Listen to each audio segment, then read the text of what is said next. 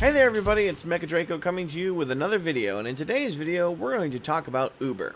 Specifically what we're going to be talking about today um, with Uber is we're going to be talking about an accident that they had uh, on Monday with their self-driving cars. As you may or may not know, Uber's actually been frontlining the, the advancement of self-driving cars for quite some time now, probably for the last two years.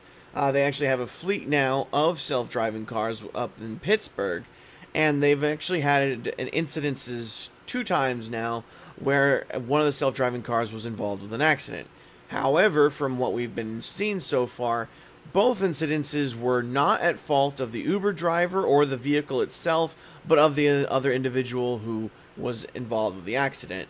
So, this was neither at fault to the driver of the Uber or at fault of the vehicle, the self-driving vehicle. This was more at the fault of the other individual driving the other vehicle. Specifically, what we're going to be going over is we're going to be going over another accident that occurred with Uber's self-driving cars. So let's go to that article now.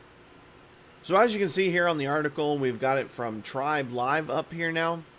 I don't entirely know who Tribe Live is. Uh, obviously, as you guys probably know by now, there's a lot of news sites starting to pop up on the internet. Not that there already weren't a lot to begin with, but lots and lots of internet sites have been popping up, but this seems like something that there's really no reason to believe that they would lie about or anything else along those lines. Please, of course, check sources and other things like that before when you go looking at sites like these. But I have no real legitimate reason to believe any kind of fault on this particular article, so I'm going to go ahead and read it out to you. Um, to start off with, let's run and read the title. Uber's fleet of self-driving cars in Pittsburgh are back on the road after Southside crash. Apparently, there was an accident on South Side in Pittsburgh, and apparently there they did actually have an accident. And of course, in response to an accident like this, because they want to make sure that there was no probable fault to their self-driving vehicles, they shut down all of their all of their vehicles for about 48 hours or something like 24 to 48 hours to ensure that there was no fault of theirs and of course, afterwards, they reactivate them. So let's go ahead and read the rest of the article just so we can get an idea of what's going on. Uber grounded its fleet of self driving cars in Pittsburgh for a few hours Monday morning as the company investigated a crash involving one of its vehicles. Few details regarding Uber's move to ground its fleet and the company's decision to put it back on the road are available.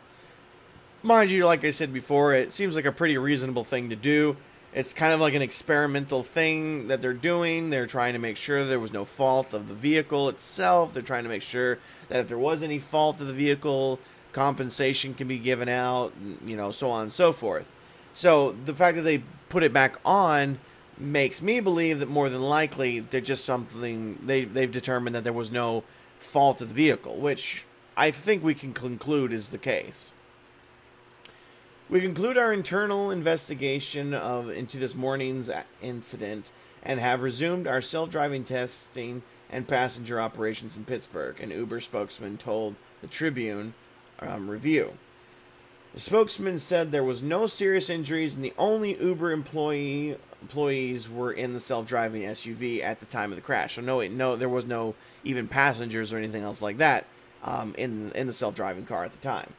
Uh, the crash happened at 8:14 a.m. near the intersection of Sidney and Hot Metal Street on the south side, according to Pittsburgh Public Safety spokeswoman Sonya Toler. Toler confirmed that no one was injured and said the driver of the Uber Volvo XC90 was in full control of the SUV at the time of the crash. So that means that the actual self-driving vehicle itself was not actually driving the car. Now that could just be them saying that just to sort of you know get get out of the way so that way they can say that of course it wasn't at fault of the self-driving car. I, I don't try to say that try to protect them, but at the same time though I have no reason to believe that they would be lying about this situation.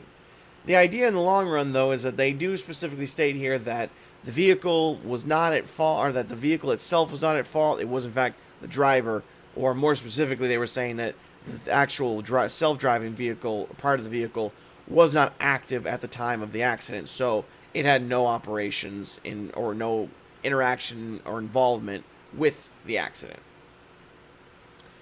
A black Nissan Sentra was driving west on Sidney Street when it collided with Uber's SUV, which had been traveling south on Hot Metal Street.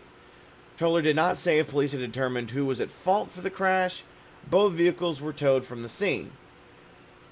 Um, then it goes on to say like Uber's fleet returned to the streets at 11 a.m. and the company spokeswoman said, so this this company spokeswoman said, uh, Chris Scorazone drove by the scene shortly after the crash happened. He said neither car had extensive damage, and he compared it to a fender bender. Scorazone said it appeared to him that the Nissan tried to make a left turn in front of the Uber vehicle, which to me sounds like that might be the fault of the Nissan, not the Uber driver. So, who knows?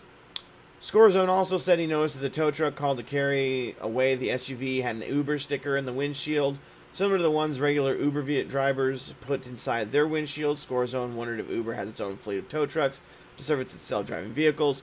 I've actually worked with tow trucks before. I've actually worked with um, roadside assistance and stuff like that. I can pretty much guarantee you I know exactly what it is. It's probably just a normal everyday tow truck company that just has a contract with Uber. That's normally how they work. We there's usually very few tow truck fleets for anything because it doesn't work very well that way because there's too many tow truck companies just all over the place. So it's better and just easier to just contract with companies like tow, tow truck companies to do towing for you. You call them up, you're they're your preferred, and then you call them up and they come and do work for you. So, and that's how it essentially works with roadside assistance. I imagine that's probably how it works with Uber. Um, Uber grounded its fleet nationwide for about 48 hours in March after a self driving Uber vehicle was involved in a crash in Tempe, Arizona. Police determined the Uber was not at fault in that crash. Uber last week celebrated the one year anniversary of its self driving car pilot program in Pittsburgh the company, whose advanced technology group is based in Pittsburgh, reported that it's more than 200 self driving vehicles in Pittsburgh. Tempe and San Francisco have driven more than 1 million miles and have provided more than 30,000 rides to customers, which is really awesome. And I believe right now, the how the pilot works is that they still involve a driver in the Uber vehicle itself, but they also have the self driving uh, part of the vehicle as well. So they can turn on the self driving if the customer prefers, or if the customer would like to, um, or if they would prefer there be just a normal manual driver, then the individual can just drive the vehicle itself. Which is, uh, you know, I think very very interesting and a very good way to handle it because that way the customer's preference is taken care of, and that way everyone is happy, and they also still get to test the self-driving vehicle. My guess is also the Uber pilot probably has to actually I'm going to call him a pilot because it kind of makes sense that way. Probably has to actually activate the self-driving part of the vehicle like every once in a while just to be on the safe side so that way they can get testing done. So what does this mean for self-driving cars? I don't know entirely. See, the thing is, is that self-driving cars are something that I really, really actually want to see. I don't care about flying cars so much. I don't care about hover vehicles. I don't care about all this other stuff like that. What I care about is self-driving cars. I can't stand driving. I hate driving. I absolutely think it's probably one of the most annoying things to do because I know how to drive and nobody else on the road seems to. So it annoys the shit out of me when I'm driving down the road and I'm stuck behind somebody going 10 miles under the speed limit. Or I'm stuck behind a whole bunch of people who just won't pass people like they're supposed to. Or just doesn't stay in the left lane or the right yeah, they're on the right lane like they're supposed to. They get over to the left lane and they just sit in it, even though they're going slower than everybody else. Or they don't take the turns when they're supposed to, or they don't get in the lane that they're supposed to, but right like before they're actually supposed to get there. Or they actually, you know, so many problems with normal people driving because of impatience, because of just bad skills when it comes to learn, like driving himself, just everything. I, I can't stand it. I would do anything to just have a car that drove itself everywhere. I would just turn it on and just be like, I'm done, and just sit back and enjoy the drive. I'd be more willing to drive long distances. I'd be more willing to drive to more places on more regular bases. I I would love it because that's what I like, and this is the kind of thing that pay I want to pay attention to because I want to see the progression of self-driving cars, and this is important to me. This is something I think is really important to the world because I think we could actually really try to start to remove a lot of incidences of accidents and other problems like that with self-driving cars.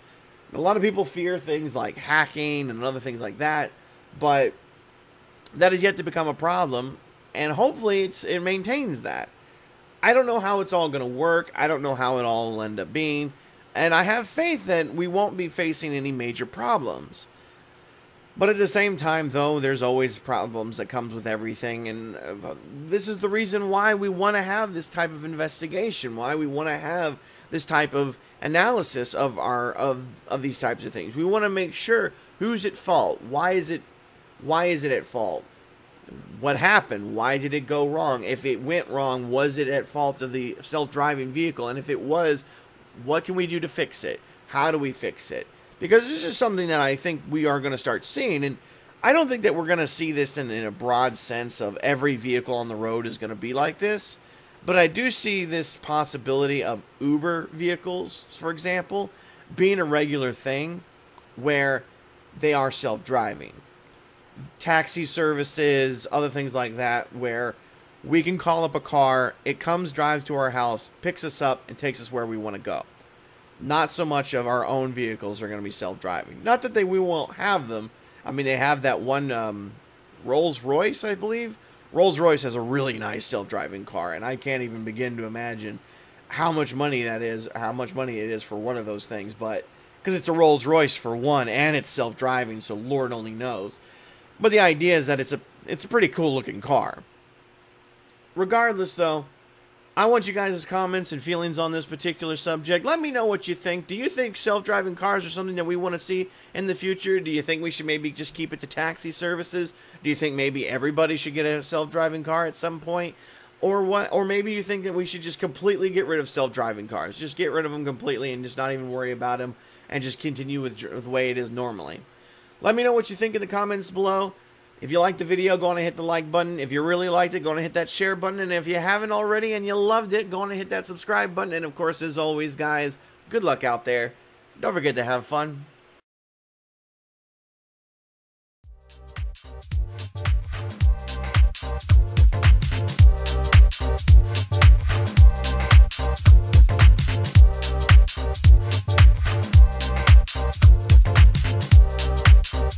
We'll be right back.